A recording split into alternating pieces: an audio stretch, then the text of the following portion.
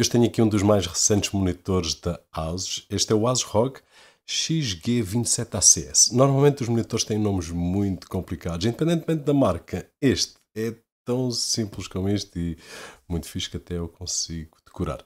É um monitor de 27 polegadas com uma resolução de 2560 por 1440, 180 Hz, um painel IPS com uma resposta de 1 milissegundo de cinzento a cinzento. Ou seja, na minha opinião, e para a utilização que eu tenho estado a dar a ele, ele é pensado em primeiro lugar para alguém que joga e que tem um gamer dentro de si em primeiro lugar, e depois em segundo lugar para criadores de conteúdo ou qualquer outra atividade que nós façamos no ecrã que requeira umas cores espetaculares, uma definição top e um tamanho de 27 polegadas, que é aquele tamanho intermédio. Não são as 32, não são as 42, mas também não são as 24, são 27. No entanto, se tu tens um monitor um bocadinho mais pequeno que este, ou maior, não interessa, Pode ser até mesmo no teu telefone.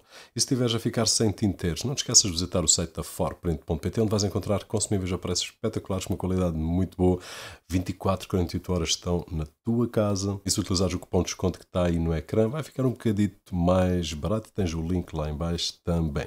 No entanto, com os preços que eles têm, nem precisas de cupom, porque é só experimentar e não vais querer outra coisa. Agora, olhando aqui para o monitor, aliás, tu consegues ver daí, ele tem um painel mate já agora, e se eu apontar ali para as minhas luzes, tu consegues, que ele fa... consegues ver a dispersão do reflexo que ele faz. E eu aqui, deste lado, nada, mas estou aí na, na, na câmara, consegues apanhar um bocadinho. Mas faz um trabalho excelente. Portanto, mesmo que a gente tenha assim uma luz apontada para ele, ele consegue disfarçar muito bem. Eu adoro estes painéis assim. Mas mesmo sendo um painel mate, ele consegue nos transmitir umas cores e um contraste simplesmente espetacular Mesmo quando nós o colocamos em ângulos assim, daqueles mais agressivos, que não fazem muito sentido, a não ser num vídeo como este, para a gente conseguir ver se existem distorção de cores ou não, e aquilo que tu consegues, espero eu, ver aí desse lado é que as cores não mudam, então se mudam, é, é, é uma coisinha quase que não se nota. O painel IPS, aliado aqui ao HDR, faz um trabalho espetacular.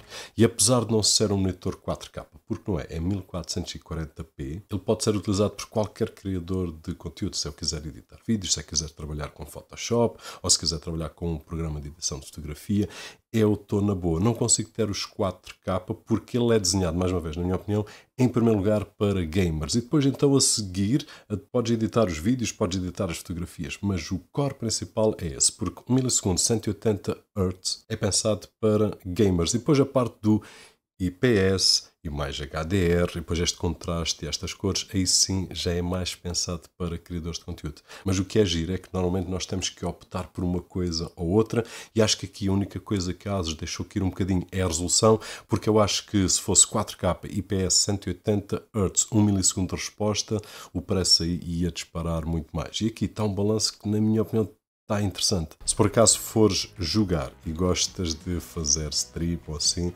tem aqui uma roscazinha por acaso, é um pormenor muito top. E existem formas de nós colocarmos câmaras aqui em cima, mas esta rosca dá muito jeito. Já agora, existe um suporte que nós podemos colocar aqui para colocar uma Sony ZV-1, por exemplo, ou outra câmera qualquer, mas esses suportes normalmente custam em cerca de 60, 70 euros. Então eu acho que é muito bem-vinda esta roscazinha que está aqui em cima. Se tu gostas de ter o teu telefone bem perto, então tu se calhar não consegues ver porque ele está virado, mas eu mostro-te aí. Tem aqui uma slotzinha em que nós conseguimos colocar um telefone ou um tablet e então fica sempre ali virado para nós. O stand permite ainda fazer uma série de ajustes neste monitor de 27 polegadas com 2560 por 1440.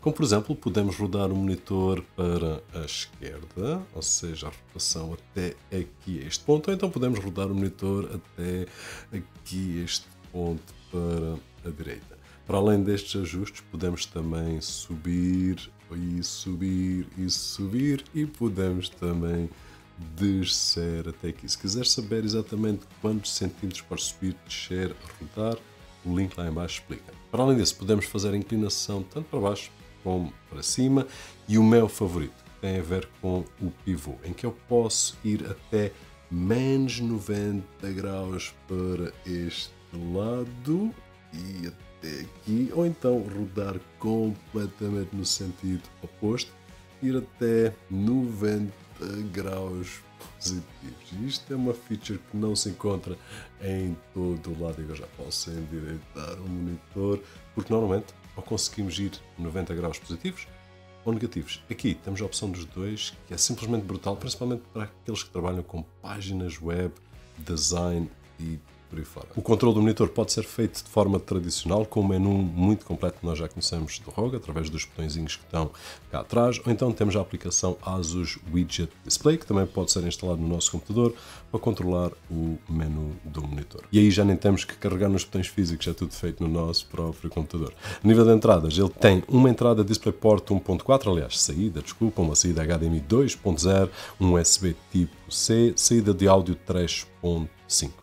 A nível de características, o link vai estar lá embaixo, mas se tu utilizas uma gráfica NVIDIA tens G5, se utilizas uma AMD tens FreeSync. Portanto, existe aqui uma série de características que não dão desculpa para nós não adquirirmos um monitor, caso estejamos no mercado à procura do monitor principalmente para jogos, mas que não nos deixa ficar mal se nós quisermos editar algum conteúdo, quer seja vídeos, fotografias, web design e coisas assim do género.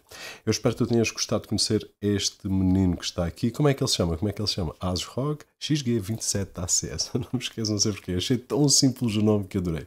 Se o vídeo foi útil, não te esqueças de deixar aquele thumbs up alguns por ali, que é muito agradecido aqui deste lado. O meu nome é Roberto Jorge e, como sempre, vemos no próximo.